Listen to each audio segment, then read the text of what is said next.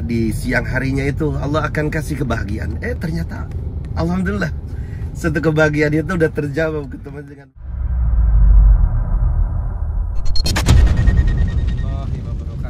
Masya Allah. Ini saya lagi santai bersama dengan Tuan Guru. Ustadz Usep dari Purwakarta Beliau adalah pemilik uh, stable Raja Ingat ya pertamanya sudah banyak saya bincang dengan beliau Dan Masya Allah luar biasa ilmu yang beliau sampaikan Nah hari ini beliau hadir di acara pernikahan anak saya Dan uh, kita gali apa sih motivasi sampai beliau ke sini Ada apa? Saya ingin tahu nih Ustadz Sama kan. Ceritanya gimana Ustadz? ceritanya Tadi bilang katanya Masya Iya. Allah kok bisa dituntun begini padahal lagi ada acara iya lagi acara besar ini Pak Haji. Sekarang itu lagi ada peresmian yang diresmikannya oleh Pak Jokowi langsung ya dengan para menteri. Dan alhamdulillah qadarullah saya dipercaya di masjid itu sebagai imam masjid ya. Tapi nggak tahu kenapa. Malah kemarin Pak Haji baru sana ya sekali.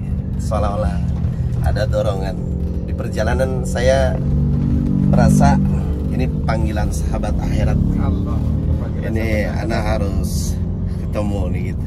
Insya Allah satu kehormatan bisa ketemu sama orang saleh Pak Haji. Jangan Pak Haji nanti saya jadi ah, sombong nih dibilang begitu Enggak. Insya Allah saya hanya ingin Haji. Amin, masya Allah.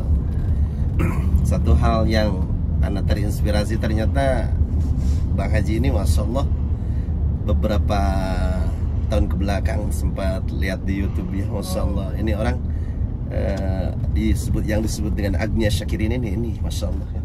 Orang kaya yang dermawan, yang soleh, masya Allah.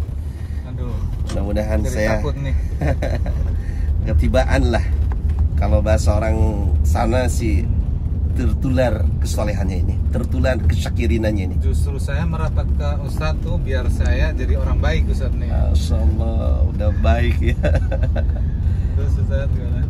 Iya ya makanya itu saya harus menghadiri eh, pernikahan anak Pak Haji meskipun di sana sekarang lagi pada ramenya bisa dikatakan pesta rakyat di sana Pak Haji.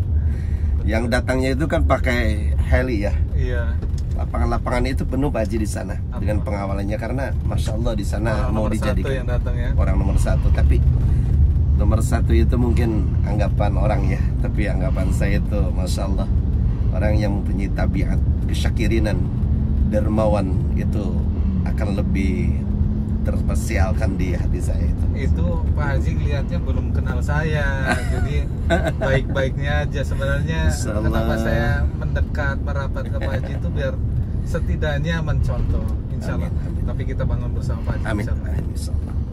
Makanya tadi kan kalimatnya itu ini sahabat akhir. Ya karena kenapa? Ya itu tadi Pak Haji. Setelah ketemu sama Pak Haji, kita semakin apa ya? Semakin giat membangun hubungan sama Allah ya. Di antaranya maaf Pak Haji ya. Malam tadi itu sempat terbangun, takut kesiangan datang ke sini ya. Ya. Sehingga iya, sehingga di malam hari itu Harusnya daripada pakai nyambutnya pakai karpet Ah, merah tadi. Kejauhan Pak Haji.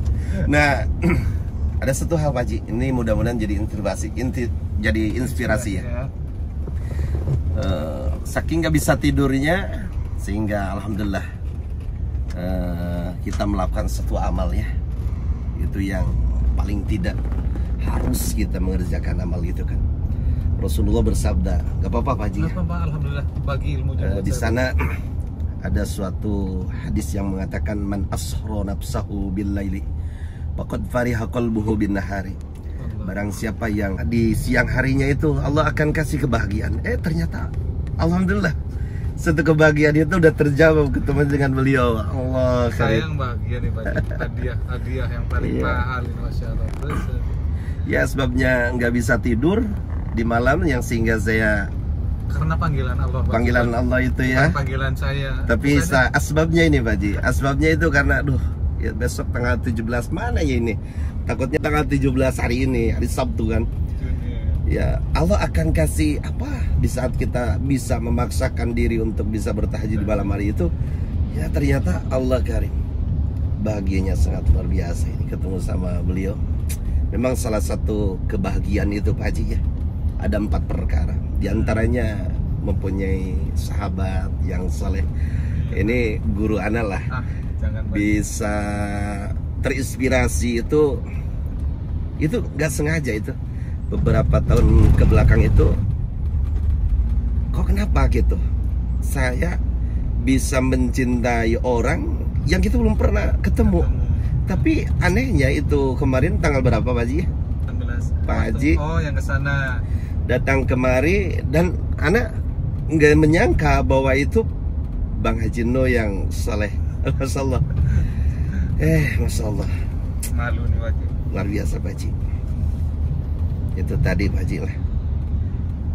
Pokoknya mudah-mudahan menjadi wasilah tambah-tambahnya hubungan baik anak itu sama Allah sama Pak Haji juga. Kadang-kadang hati kalau udah sudah connect itu bukan karena kebetulan. Iya. Semuanya itu takdir Allah. Nah. kita sudah tercatat semua takdir kita dari lahir sampai kita wafat meninggal itu sudah ada takdir Allah. Jadi, kalau berkenalnya karena hati insya Allah akan jadi sahabat dunia akhirat insya Allah nanti kita saling uh, mencari di surga amin mungkin amin. saya nggak ada nih Pak Haji dengan amal Iya. Pak Haji yang luar biasa amin besar. Allah udah punya pesantren udah Amin. gitu punya olahraga sunnah lagi Hmm. seperti yang Rasul uh, sabdakan di, di hadisnya dan barang siapa yang uh, berjuang di jalan Allah insya Allah jalan-jalan Allah tuh selalu yang terbaik dikasih amin. Terima kasih Ustaz. Insya Allah nanti kita ketemu lagi dengan Ustaz Hussein. Amin amin Insya Allah amin. saya akan berkunjung dan keluarga di sana. Amin amin. Mudah-mudahan bisa ketemu dan mudah-mudahan Allah berikan kesehatannya. Terima kasih sahabat Salmi yang dirahmati Allah. Assalamualaikum warahmatullahi wabarakatuh. Waalaikumsalam warahmatullahi wabarakatuh